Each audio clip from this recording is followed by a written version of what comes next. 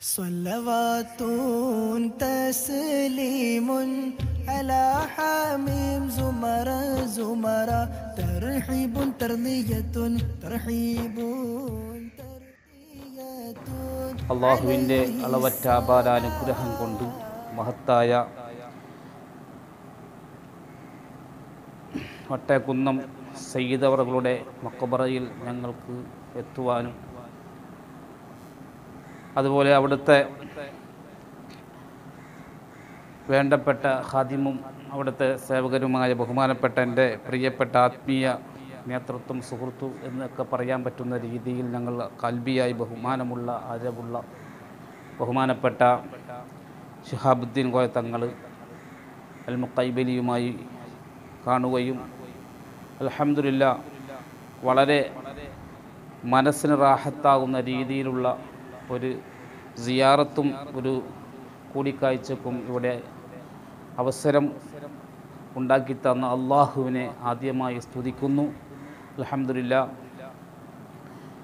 ഞങ്ങളുടെ സിയാറത്തിന്റെ ഏകദേശം പല മക്ക മഹാന്മാരുടെ അരികിലേക്ക് ഞങ്ങൾ സിയാറത്ത് നടത്തി. അവരുടെ അവരുടെ എല്ലാവരുടെയും ചുരുങ്ങിയ രീതിയിലുള്ള ചരിത്രങ്ങളും സംഭവങ്ങളെല്ലാം ഫാറൂഖിയ ഓൺലൈനിലൂടെ പറഞ്ഞിട്ടുണ്ട് ഇനി ഇൻഷാല്ല തങ്ങളുപ്പാപ്പയുടെ വിശദീകരണങ്ങളും അടക്കം ഈ ബഹുമാനപ്പെട്ട സയ്യിദ് അവറുകളുടെ മക്കുബറയെ സംബന്ധിച്ചുള്ള വിശദീകരണങ്ങൾ ഇൻഷാല്ല ഉടൻ തന്നെ അടു ഏഹ് ഇറങ്ങുന്നതാണ് صلوات تسليم على حميم زمر زمر ترحيب ترضية ترحيب ترضية عليه السلام السلام من رب العالمين كسرى كسرى السلام من رب العالمين മഹാന്മാരുടെ ഹലറത്തിൽ വന്നുകൊണ്ട് അവരുടെ ബർ- അവരോട് ബർക്കത്ത് ചോദിക്കുകയും അവർക്ക് അവരുടെ പാരിത്രിക ഉന്നമനത്തിന് വേണ്ടി പ്രാർത്ഥിക്കുന്നതോടൊപ്പം നമ്മുടെ ജീവിതത്തിൽ സർവ ഐശ്വര്യങ്ങൾ ഉണ്ടാകാൻ വേണ്ടിയും വന്നുപോയ എല്ലാവിധ പാവങ്ങൾ പുറത്തു തരാനും മരണത്തെക്കുറിച്ചുള്ള ചിന്ത നമുക്കുണ്ടാകാനും വേണ്ടിയിട്ടാണ് നമ്മൾ മഹാന്മാരെ സിയാർത്ത് ചെയ്യുന്നത്. അവരുടെ വർക്കത്ത് കിട്ടുന്നതിനും അവരുമായൊരു ആത്മീയ ബന്ധം ഉണ്ടാക്കിയെടുക്കുന്നതിനും വേണ്ടിയിട്ടാണ് നമ്മൾ മക്ബറകൾ സന്ദർശിക്കുകയും അവിടെ നിന്ന് ആ മക്ബറകൾ കേന്ദ്രീകരിച്ച് പ്രാർത്ഥനാ സദസ്സുകൾ ഉണ്ടാക്കി ആത്മനിർവൃതി അണയുകയും ചെയ്യുക എന്നുള്ളത്. അതേപോലെ ഒരു വലിയ കറാമത്തിന്റെ ഉടമയായ റിഫായി തരീഖത്തിന്റെ ഖലീഫയും ഷെയ്ഖും ഖലീഫയും എല്ലാമായിരുന്ന വട്ടേക്കുന്നത്തെ മക്ബറയിൽ അന്ത്യവിശ്രമം കൊള്ളുന്ന ബഹുമാനപ്പെട്ട സയ്യിദ് ഹാമിദ് കുഞ്ഞിക്കോയ തങ്ങളുടെ ചായ അവിടുത്തെ അനുഗ്രഹീതമായ ഹദ്രത്തിലാണ് നമ്മൾ ഇപ്പോൾ ഉള്ളത്. സയ്യിദന്മാർ അഖിലവും ഒട്ടുമിക്ക ആളുകളും യമനിലെ ഹലറമൗത്തിൽ നിന്ന് ഇസ്ലാമിക പ്രബോധനത്തിന് വേണ്ടിയിട്ട് നമ്മുടെ ഈ കൊച്ചു കേരളത്തിൽ വന്നവരാണ്. അതിന്റെ ഭാഗമായി തന്നെ ഹൈദരാബാദിൽ നിന്ന് സ്വന്തം അമ്മാവന്റെ കൂടെ ഇസ്ലാമിക പ്രബോധന രംഗത്ത് വന്ന് ഈ രാജ്യത്ത് അല്ലെങ്കിൽ നമ്മുടെ ഈ നാട്ടിൽ ഇൽമിന്റെ വെള്ളി വെളിച്ചമേകി ജനഹൃദയങ്ങളിൽ സ്ഥാനം നേടിയിട്ടുള്ള ഒരു മഹൽ വ്യക്തിത്വമാണ് സയ്യിദ് ഹാമിദ് കുഞ്ഞിക്കോയത്തങ്ങൾ. ഹൈദരാബാദിലാണ് സ്വദേശം. അവിടുന്ന് ഇസ്ലാമിക പ്രബോധനമായി വരുമ്പോൾ ഈ പ്രദേശം മുഴുവനും കാട് പിടിച്ച് ജനവാസം വളരെ കുറഞ്ഞ ഒരു ഏരിയ ആയിരുന്നു. സൂഫിസത്തിന്റെ കവാടങ്ങൾ തുറന്നുകൊണ്ട് വെറുതിലും സുഹൃതിലുമായി കഴിഞ്ഞിരുന്ന ഒരു കാലഘട്ടത്തിൽ ഈ ഇവിടെ കാടിന്റെ ഉള്ളിൽ വന്ന് അള്ളാഹുവിന്റെ സാമീപ്യം കരസ്ഥമാക്കാൻ ഏകനായി ആരാധന ചെയ്തുകൊണ്ട് ജീവിച്ചിരിക്കുന്ന കാലഘട്ടത്തിൽ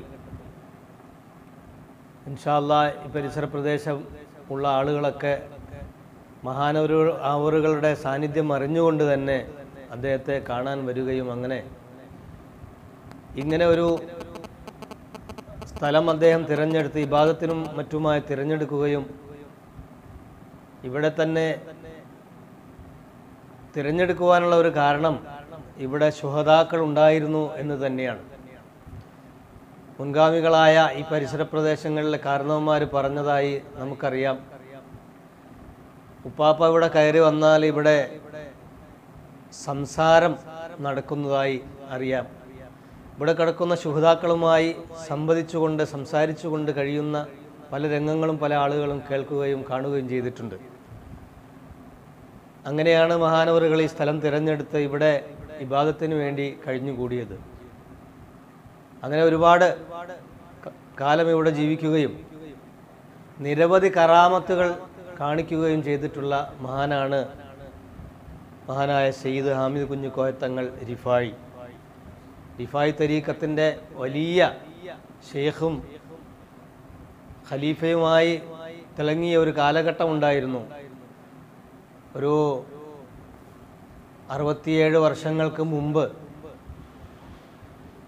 ജീവിച്ചിരുന്ന ആളുകൾക്കൊക്കെ അറിയാം മഹാനവറുകളെ കുറിച്ച് ഒരുപാട് കറാമത്തുകൾ ഒരുപാട് ആളുകൾക്ക് അത്താണിയും ഒരുപാട് ആളുകൾക്ക് ആശ്വാസകേന്ദ്രമായി ഇവിടെ നിന്നിരുന്ന മഹാനവറുകളാണ്. ആദ്യമായി ഇവിടെ റെയിൽ അതായത് ട്രെയിൻ പോകുന്ന ഒരു സാഹചര്യം ഇവിടെ പുതിയ റെയിൽപാള ഉണ്ടായി. പുതിയ ട്രെയിൻ സംവിധാനം ഒരുങ്ങിയ സമയത്ത് പോലും ഈ നാട്ടുകാർ മഹാനവറുകളോട് വന്ന് പറഞ്ഞു ഞങ്ങൾക്ക് ട്രെയിനൊന്ന് കാണണം. അങ്ങനെ ഉപ്പാപ്പയും പരിവാരങ്ങളും താഴെ ട്രെയിനിന്റെ ആ റെയിൽവേ ട്രാക്കിന്റെ അടുത്ത് ചെന്ന് ട്രെയിൻ വരുന്നത് കാത്തു നിന്ന് ഉപ്പാപ്പ അപ്പോൾ പറഞ്ഞു നിൽക്കട്ടെ എന്ന് പറഞ്ഞപ്പോൾ ട്രെയിൻ അവിടെ നിന്നതും ഈ പരിസരവാസികളായ ആളുകളൊക്കെ അത് വന്ന് ട്രെയിനിന്റെ അകവും പുറവും ഒക്കെ കണ്ടുപോയതും ഒക്കെ ചരിത്രമാണ്. ആദ്യമായി ട്രെയിൻ സഞ്ചരിച്ചപ്പോൾ ട്രെയിൻ നിന്ന് പോയതിന്റെ കാരണം ഉന്നയിച്ച് അത് റെയിൽവേയുടെ എഞ്ചിനീയർമാരും അതിന്റെ മെക്കാനിക്കും എല്ലാം ആ ട്രെയിനിലുണ്ടായിരുന്നെങ്കിലും ട്രെയിൻ പെട്ടെന്ന് ഇവിടെ നിന്ന് പോയതിന്റെ കാരണം അവർക്കാർക്കും അറിയില്ലായിരുന്നു. അങ്ങനെ ട്രെയിനെല്ലാം കണ്ട് ജനങ്ങൾ പാപ്പാടോട് പറഞ്ഞു ഞങ്ങൾ ട്രെയിൻ കണ്ടു എന്ന് പറഞ്ഞപ്പോൾ പോയിക്കോട്ടെ എന്ന് പറഞ്ഞിട്ട് അങ്ങനെ പെട്ടെന്ന് ട്രെയിൻ സ്റ്റാർട്ടാവുകയും പോയതുമെല്ലാം ഇവിടെ പഴമക്കാർക്കറിയാം. ഇന്നത്തെ തലമുറയ്ക്ക് ഇത്തരം ചരിത്രങ്ങളൊന്നും പറഞ്ഞാൽ അത്ര മനസ്സിലാകുമെന്ന് തോന്നുന്നില്ല.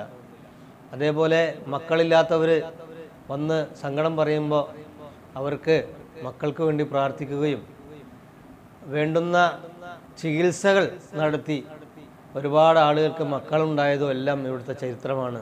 അതേപോലെ തന്നെ ഉണക്കക്കമ്പ് ഒടിച്ചിട്ട് കുഴിച്ചിട്ടിട്ട് നോക്കിക്കടാ എന്ന് പറഞ്ഞ് നോക്കി നിൽക്കുമ്പോൾ തന്നെ അത് ഉണക്കക്കമ്പ് പൊടിച്ചു വരുന്ന സംഭവം.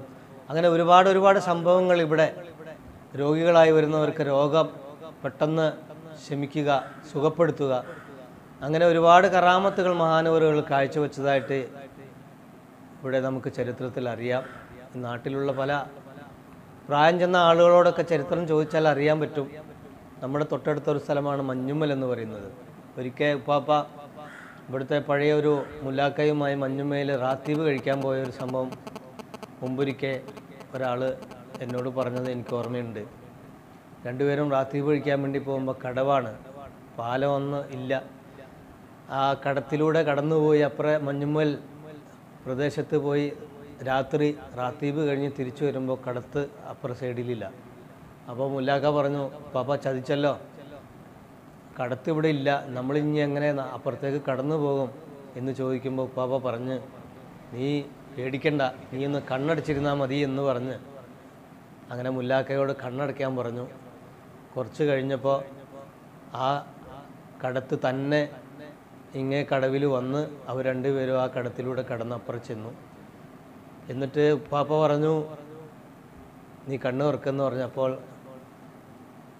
കടത്തിന്റെ ഇപ്പുറം നാട്ടിലേക്ക് എത്തപ്പെട്ടതായിട്ട് കണ്ടതായി അന്നത്തെ മുല്ലാക്ക പറഞ്ഞ ഒരു ചരിത്രം ഈ നാട്ടിലെ ബഹുനിരായ ഒരു മനുഷ്യൻ പറഞ്ഞതായി ഞാനിപ്പോഴും ഓർക്കുന്നു. അങ്ങനെ ഒരുപാട് ഒരുപാട് ചരിത്രങ്ങളും സംഭവങ്ങളും ഇവിടെ നടന്നിട്ടുണ്ട്. ആ മഹാന്റെ ചാരത്താണ് നാം ഇപ്പോൾ ഉള്ളത്. അള്ളാഹു സുബാനുവത്താല മഹാനവറുകളുടെ ബർക്കത്ത് കൊണ്ട് നമ്മുടെ ജീവിതത്തിൽ സലാമത്ത് നൽകുമാറാകട്ടെ. എല്ലാവിധ സൗഭാഗ്യങ്ങളും നന്ന് നമുക്കെല്ലാവർക്കും തന്നുകൊണ്ട് അള്ളാഹു നമ്മെ രണ്ട് ലോകത്തും വിജയിച്ച യഥാർത്ഥ മുത്തക്കീങ്ങളിൽ മുമിനീങ്ങളിൽ ഉൾപ്പെടുത്തി അനുഗ്രഹിക്കുമാറാകട്ടെ. നമ്മുടെ ഈമാൻ അള്ളാഹു സലാമത്താക്കി തരുമാറാകട്ടെ. എല്ലാ രോഗങ്ങളും ഷിഫിയാക്കി ആഫിയത്തുള്ള ആരോഗ്യമുള്ള ദീർഘായുസ് നൽകി അള്ളാഹു നമ്മെ എല്ലാവരെയും അനുഗ്രഹിക്കുമാറാകട്ടെ എന്ന് മാത്രമാണ് ഇപ്പോൾ ഈ സന്ദർഭത്തിൽ പറയാൻ ഉദ്ദേശിക്കുന്നത്. അള്ളാഹു ഇത്തരം മഹാന്മാരുടെ ദറജ വർദ്ധിപ്പിച്ചു കൊടുക്കുമാറാകട്ടെ. തൊട്ടടുത്ത് കിടക്കുന്നത് മഹാന്റെ മകൻ സയ്യിദ് അബ്ദുറഹ്മാൻ കുഞ്ഞ് കുഞ്ഞിക്കോയ തങ്ങൾ എന്ന് പറയുന്ന ഓക്കെ തങ്ങളെന്ന് പേരിൽ അറിയപ്പെടുന്ന മഹാനാണ് അദ്ദേഹം. ഈ നാട്ടിലെ പല പള്ളികളിലും ഖത്തീബും ഇമാമുമായി സേവനം ചെയ്തിട്ടുണ്ട്.